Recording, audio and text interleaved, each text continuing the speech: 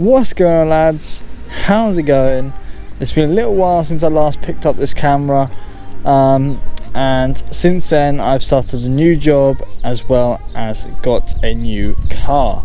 Um, now I still have the Audi, um, still in the garage. Um, it's currently not insured but I do have, well recently last week I bought this car because it came up at such a good price. So I'm not really too sure what to do with the Audi. Um, I might be selling it um, just because I really want to get stuck into this new project. Um, so yeah, I'm to go ahead and switch to the other view and show you this new car. So this is my new, well, new to me, Volkswagen Golf GTI Mark 5. so yeah, this is it. It's only got 42,000 miles on the clock. Um, it's been serviced, the cam belt's been done on it, all sorts been done on it. Go.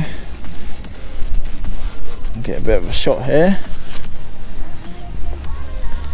So when I got the car, it did come with a flat tyre. Um, so I did have to get a new tyre for it. But so far that's the only amount of money I've spent on it as well as uh, two front seats um, shampooed and cleaned just because they had a little bit of um, some marks here and there on them. Um, so yeah I basically just got them valeted. Um, but otherwise she's mint. I mean the only only flaw with this is just this side panel it's got a couple of little um, dings on the side here but that's it. The rest of it is pretty much flawless. Um, so yeah obviously a 2 litre turbo K03 turbo um, and I do plan to do some bits to this um, as well as take you guys along with the the, uh, the trip. So obviously intercooler intake get this thing remounted to like 300 brake um, get some coilovers on it and then um, yeah I reckon she'll look like a pretty mean car. I mean I'll get some different wheels as well um, yeah, I'm pretty excited. I do want to get the rear lights changed for the R32 style ones as well. This has also got the blue tinted glass.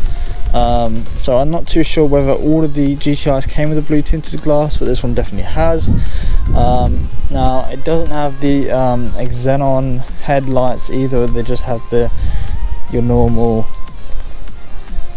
standard lights but they are on eBay uh, for not really too much money so I think I might go ahead and invest in them because I do agree that they are a lot better than them ugly ones at the front. Now what I do really like about this is the seats. Um, it's just such a nice um, design you know and the, the, um, the actual seats alone are actually quite um, they're not with the Audi ones I find they're quite wide so they don't really bucket you as much as you'd hope but these definitely with these massive bolsters on the side they do hug you quite well.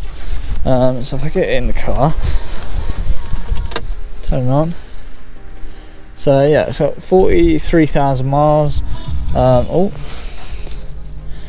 The uh, original owner put a different radio in it. This isn't the standard radio but I mean it seems okay. The only thing is it doesn't have Bluetooth or anything like that.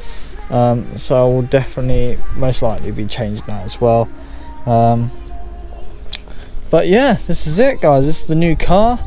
Um, I might be still being doing some uh, videos on the Audi but the minute I think I'll be um, concentrating on this as well as my new job. Um, that's got the aluminium pedals and everything. So yeah I really like it. Really so far I've enjoyed it. So yeah just a little bit of an update guys. Um, not really else is nothing else has really gone on. I'm just been sort of driving this around, getting used to it. And um, yeah, if you've seen it on my Instagram, fair play. Um, I do have an Instagram for this account, and it's always in the, uh, description.